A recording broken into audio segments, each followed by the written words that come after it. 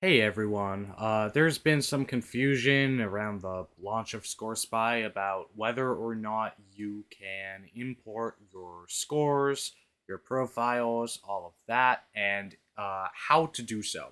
So that's what I'm going to be covering in this tutorial today. First of all, you're going to want to come to the website if you haven't already uh, to actually install ScoreSpy. If you come over here, this is the default page of the website you have your Windows and your Linux downloads. Download whichever one is for your operating system. You're going to need to create a profile as well to actually access the uh, client. So go do that on the website. You're going to have to verify your email and stuff. Uh, I think the email servers were being a bit uh, weird earlier. I think it should be fixed now.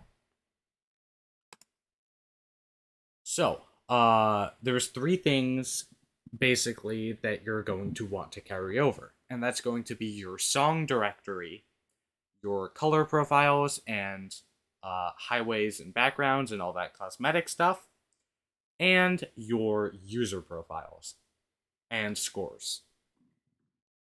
So, the first thing we're going to want to carry over is the song directory.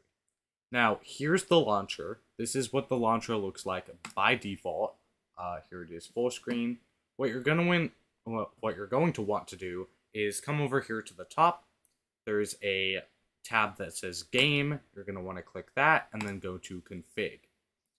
Here you have all your settings. Um, most of the settings that you can find in game are also here. You might want to have a look through your in-game settings as well. Some of the default settings are a little bit weird. One thing I will just note is that you should probably leave no fail off. Um, no fail has been changed in Score Spy. It no longer exits you out of the song when you fail, and instead you just um, you just kind of like when you submit a score, it shows that you failed the song. Uh, so you're going to want to leave that off um, let's see what else. Uh, I think that's that's mostly it. I mean, you want to check your frame rate and all that. Uh, I remember my frame rate was like initially set to be pretty low. So, this is the important part though. You're going to want to look at your directories and in order to um, make sure that your songs from V23 or the PTB are in the right place and will show up in your game, you're going to want to set the directories. So, if you're playing on V23, uh, you're going to need to find wherever you installed V23, wherever you normally install your songs uh, when you want to play new charts, you're going to want to find that folder and just add it in the directories here. If you're playing on the PTB, on the other hand, um, you're going to want to add a directory, click this little folder here, and if you come over to, I believe, um, it's users, app data, roaming, Let me find it. Clone Hero Launcher, uh, game files, and this songs folder right here. That's if you're playing on the PTB. Now, if you don't know how to find your app data folder, I will tell you how to do that because that's very important for the next step, which is carrying over your scores and your profiles. So, let me just uh, bring up Windows Explorer here and as you can see, I already have uh, app data brought up. So what you want to do, you want to go to your uh, this PC right here, or you can just uh, head straight to your C drive. Uh, you're going to want to go to users. You're going to want to pick whatever user that you use when you log onto your PC. Uh, and then you're going to want to go to view over here. Make sure that hidden items is checked so you can actually get to your app data folder because I believe it is hidden by default. you're going to want to go to app data. You're going to want to go to local low. You're going to want to go to srylain Inc., Clone Hero, and you have all this stuff here. Now, most yeah, you can pretty much copy over everything to Score Spy, and it should be fine. But if you only want uh, a few things to be carried over, I will tell you what everything does. All of this stuff is um, all of this stuff right here. You don't really need to worry about. That doesn't really do anything in game that you uh, need to actually worry about. You have three profile files, uh, assuming you have backups. You might not have backups, but you have a profiles.bin and a profiles.ini. Now, you're going to want to copy over those for sure, because those have your note speed settings, uh, as well as a few other things. And if you want your scores to be carried over, I personally didn't carry my scores over, but uh, you might want to carry your scores over.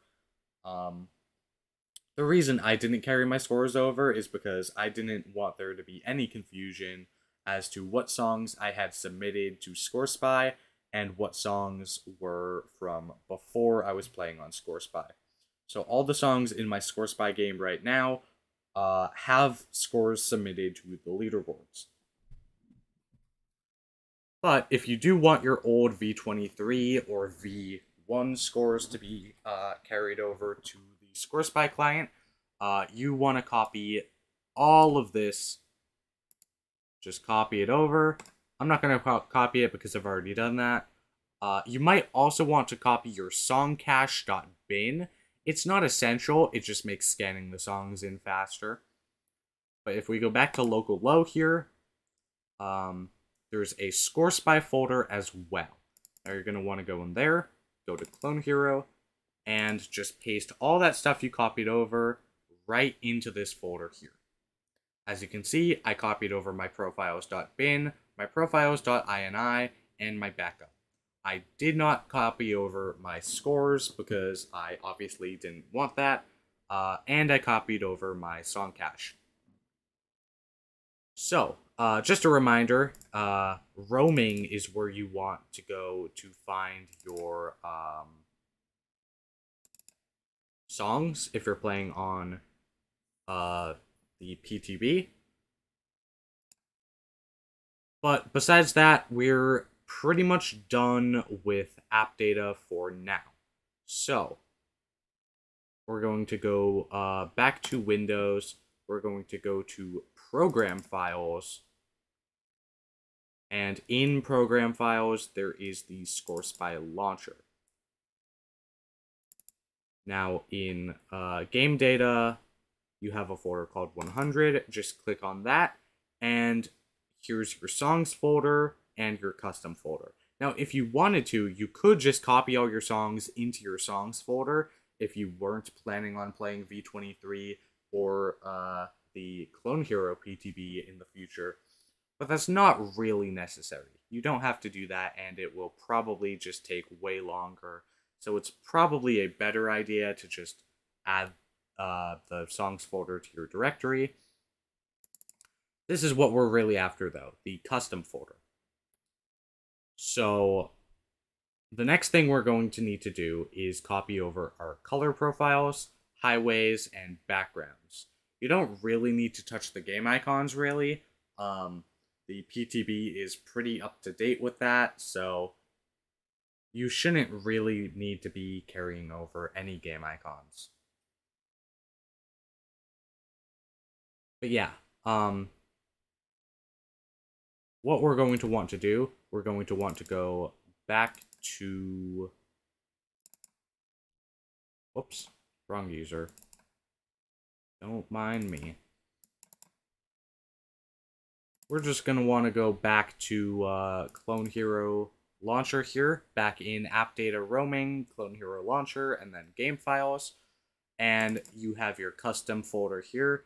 If you wanted to, you could just copy over the entire custom folder. No harm in that, but if there's only a few things you want to carry over, just grab your color profiles and your highways and whatever else. And uh, we're going to go back to program files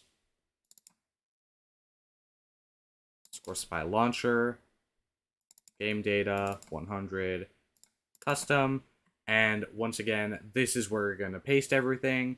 So you copy your um, color profiles into here, your highways into here, uh, and if you have any backgrounds or video highways, copy them into their respective folders. Now that we've done all this, we should be pretty much good to go. So let's go back to the Score Spy launcher. Uh, one thing I forgot to mention is that when you first install the Score Spy launcher, you do actually have to add the stuff you want. So there's the Score Spy CH, Score Spy CH PTB, Clone Hero, Clone Hero PTB, and Chorus. So you can actually play Clone Hero V23 or the Clone Hero PTB through the Score Spy launcher. Uh, you can also download songs directly from Chorus through the Score Spy launcher as well, which is super cool. Uh, one thing that uh, had people a little bit confused was the difference between Score Spy CH and the Score Spy CH PTB. Score Spy CH is not a V23 version of Score Spy. Uh, Score Spy CH, this is the PTB, basically. It has all the features that the current Clone Hero PTB does. Um, this isn't V23.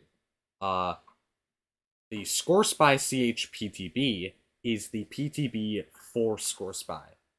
Uh, I don't believe it's being used at the moment, but theoretically in the future, if there's new Score Spy features that are being tested out, you will be able to install the Score Spy CH PTB and it'll function similarly to how the Clone Hero PTB does currently.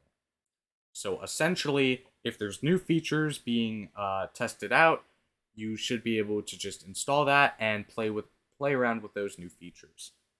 Um, but just install normal Score Spy CH.